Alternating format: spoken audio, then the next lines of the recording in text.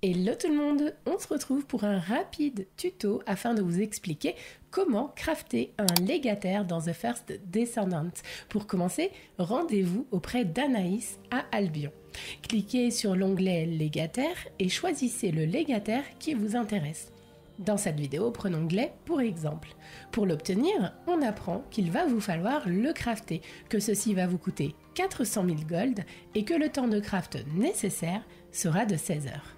Mais ce n'est pas tout, vous allez devoir pour ce faire rassembler 4 matériaux différents.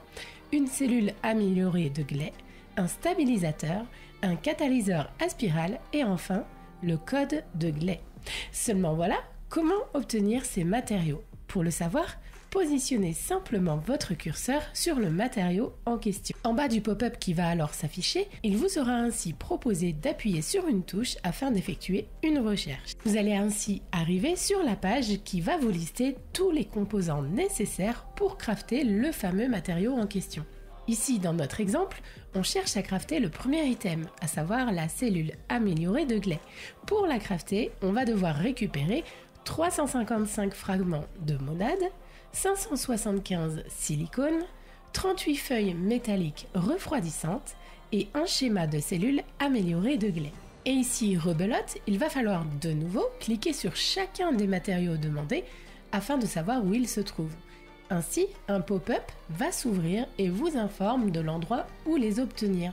Dans notre exemple, j'apprends ici, toujours pour Glay, que je dois ouvrir des caisses de ressources et de munitions pour farmer le premier matériau dont j'ai besoin, à savoir les fragments de monade. Enfin, en cliquant sur l'item, j'aurai même sa position d'affiché sur la map, comme ici avec l'emplacement de Kingston, qui n'est autre que la zone où trouver et farmer ces caisses de munitions et de ressources. Alors ici, bien sûr, les caisses de munitions et de ressources sont un item générique, c'est donc du farm de zone en patrouille. Mais si vous avez besoin de farmer un item plus spécifique et donc plus rare par exemple, comme ici avec le schéma de cellules améliorées, eh bien en allant sur l'item en question, vous aurez également une info bien plus précise de l'activité à accomplir et de son emplacement précis sur la carte. Ici dans notre exemple, il faudra finir le combat d'interception beauté divine situé sur la terre déserte à cet emplacement précis indiqué en surbrillance.